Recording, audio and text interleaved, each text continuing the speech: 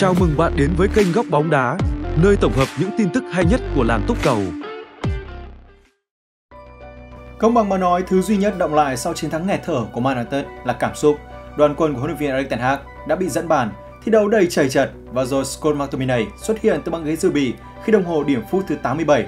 Sau đó bất ngờ, bùm, bùm, tiếp về người Scotland đã ghi liền hai bàn thắng khó tin, sắm vai người hùng cứu rỗi Man United thoát khỏi thêm một bi kịch khác tại nhà hát của những giấc mơ.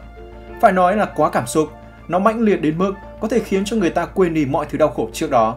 Các fan không ngừng hò reo, còn Ten Hag cũng tranh thủ tầng bốc các cậu học trò. Đồng thời khẳng định Man United thắng nhờ sự nỗ lực chứ không phải là có thần may mắn phù trợ. Quỷ đỏ đã thắng đầy cảm xúc, đúng, chẳng ai có thể phủ nhận được, nhưng đó chính xác là tất cả những gì mà họ có thể làm ở thời điểm này. Hay nói thẳng ra, thắng lợi của Man United không có bất cứ ý nghĩa nào về mặt chuyên môn. Sự sung sướng khi cảm xúc nhất thời đem lại đã dần lắng xuống, các fan của Man United sẽ phải đối mặt với một sự trần trụi rằng đội bóng con cưng của họ đang lâm vào tình cảnh khó có thuốc chữa, nếu không muốn nói là vô phương cứu chữa. Trước thời điểm được Scott McTominay giải cứu, Man United đã đá ra sao? Chỉ hai từ thôi, tuyệt vọng. Một điểm sáng le lói của Man United ở trận đấu này là họ vẫn giữ cho mình một tinh thần thi đấu đầy ngoan cường và quyết tâm không bỏ cuộc. Quỷ đỏ chiến đấu đến những giây phút cuối cùng và tưởng chừng như đã hoàn toàn buông xuôi, nhưng rồi đã được đền đáp.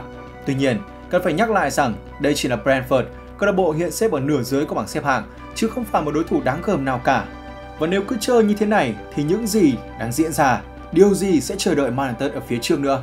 Thực tế thì việc Ten Hag tung McTominay vào sân thay cho Sofian Amrabat cũng không phải là thiên tài về mặt chiến thuật gì.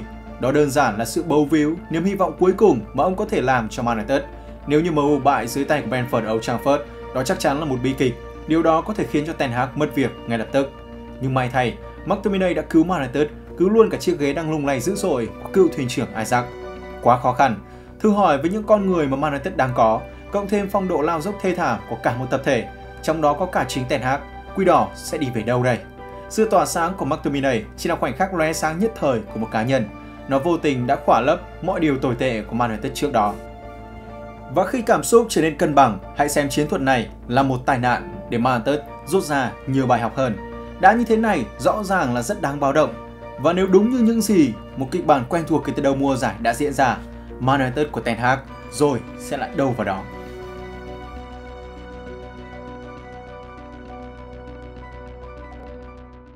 Video được tài trợ bởi FB88